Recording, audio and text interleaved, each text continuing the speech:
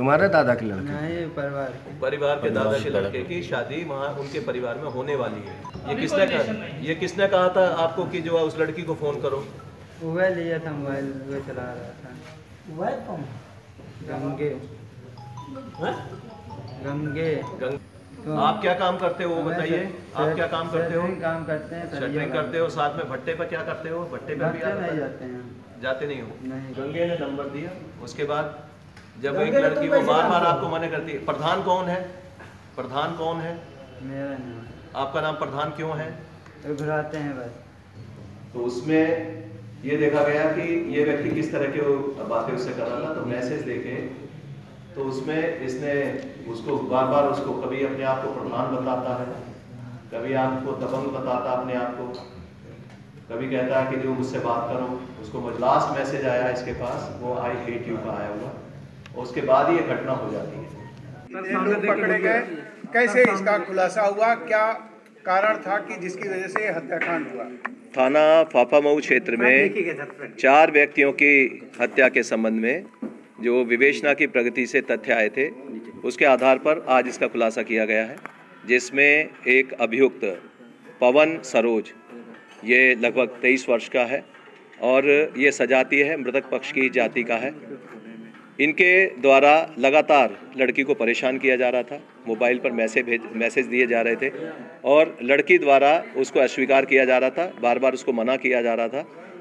अंतिम मैसेज के आधार पर और सरकमस्टेंशियल एविडेंस के आधार पर पवन सरोज की गिरफ्तारी की गई है और इनके द्वारा अभी विवेचना में सहयोग नहीं किया जा रहा है, लेकिन अभी तक ये बात सिद्ध हो गई है कि इनके द्वारा कुछ लोगों के सहयोग से हत्या की गई थी।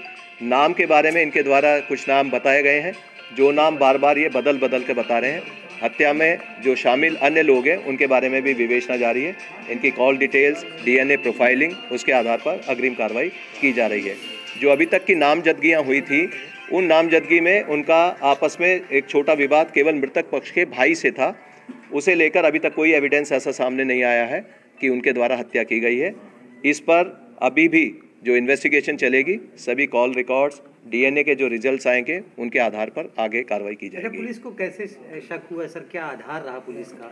पुलिस के द्वारा जब मृतका का मोबाइल देखा गया तो उसमें कुछ मैसेज मिले थे और उसके साथ ही जब उन मैसेज के आधार पर पवन सरोज को पकड़ा गया तो पहले वो मना करता रहा कि मैंने कोई लड़की को मैसेज नहीं दिया ना मैं लड़की को जानता हूँ। लेकिन जब उसको मैसेज दिखाए गए उसका मोबाइल बरामद किया गया तो स्वयं के मोबाइल से उसमें मैसेज मिल गए। उसने गौरी मैम नाम से बच्ची का नंबर सेव किया हुआ था। और जो मृतका की आयु है, उसके प्रमाण हमें मृतका के मोबाइल से मिले हैं, जिसमें जून 96 उसकी डेट ऑफ़ बर्थ है, जिससे जो पोक्सो की धाराएँ हैं, वो भी इसमें कम की जा रही हैं। क्या इस बच्ची के साथ, युवती के साथ सामूहिक बलात्कार भी हुआ है? कुछ एविडेंस मिले हैं? खून ब्लड वो बलात्कार करने वाले जो पकड़ा गया है व्यक्ति, उसके इसमें बलात्कार की पुष्टि हो चुकी है। इसमें जो निशान मिले हैं, उसके पीबी खेयर्स पे निशान पाए गए हैं और जो अभी तक परीक्षण रिपोर्ट आई हैं, उसमें ये सिद्ध हुआ है कि वहाँ बलात्कार हुआ है। लेकिन कितने लोगों द्वारा किया गया है, इसके बारे में मेडिकल ओपिनियन ली गई। जो अभी जो पोस्टमार्टम पैनल था, उससे बातचीत की गई थी। तो उनके द्वारा बताया गया कि जो इंजरीज़ हैं महिला के जो अंगों पर वो उसमें काफ़ी सिमेट्री है जिससे लगता है कि जो काटने की मारने की जो क्या कार्रवाई की गई है उस युवती के ऊपर वो एक युवक के द्वारा की गई है।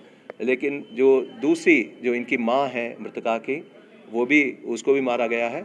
उनके साथ रेप की पुष्टि नहीं हुई है। क्या एक व्यक्ति इस घटना को अंजाम दे सकता है और पकड़े गए व्यक्ति के शरीर पर भी चोट के प्रतिरोध के निशान है क्या? यह व्यक्ति क्योंकि अनपढ़ है और एक तरफा प्यार करता था। उसे लेकर इस पर जब इसके शरीर की जाँच की गई है तो प्राइमा फेसाई उस पर कुछ चोटों के निशान है, जिसको ये स्वयं एडमिट कर रहा है। कुछ इसकी शर्ट पर निशान मिले हैं, जिसको ये पान के निशान बता रहा है, लेकिन देखने में वो खून के निशान प्रतीत होते हैं। इनके कपड़े, इनके जितने भी अन्य एविडेंस हैं, उनको कलेक्ट कर हम एफएसएल भेज रहे हैं और डीएनए प्रोफाइलिंग के बाद ये मामला एकदम क्लियर हो जाएगा। ठीक थैंक यू सर उसके बाद कोई मैसेज नहीं। तो ये उससे हमने, ना ही मैंने मोबाइल लिया, ना ही मैं इससे मिला हूँ।